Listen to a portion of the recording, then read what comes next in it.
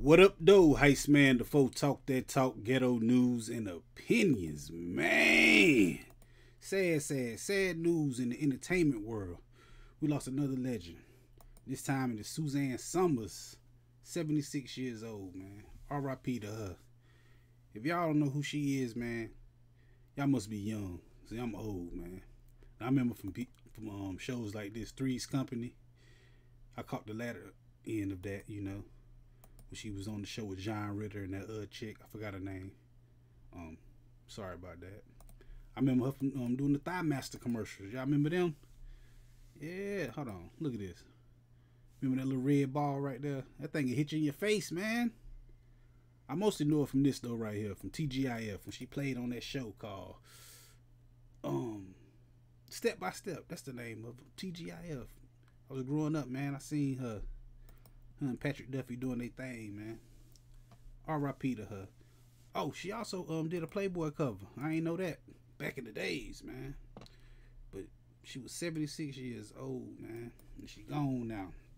So y'all send y'all condolences and, y'all love and all that out there to her peoples, man. But I think she was like one day before her birthday. Her birthday is October 16th. Today the 15th, man. And she done passed away.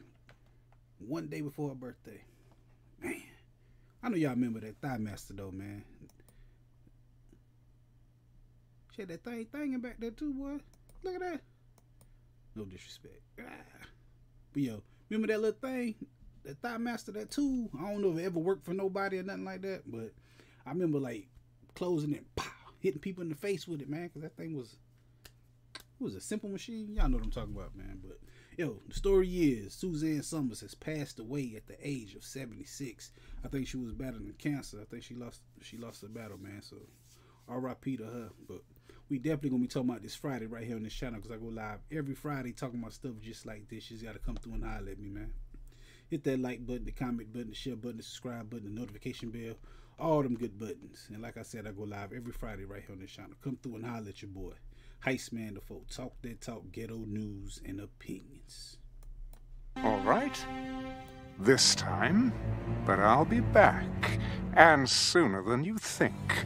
Wherever there's prejudice, ignorance, inequality, I'll be there.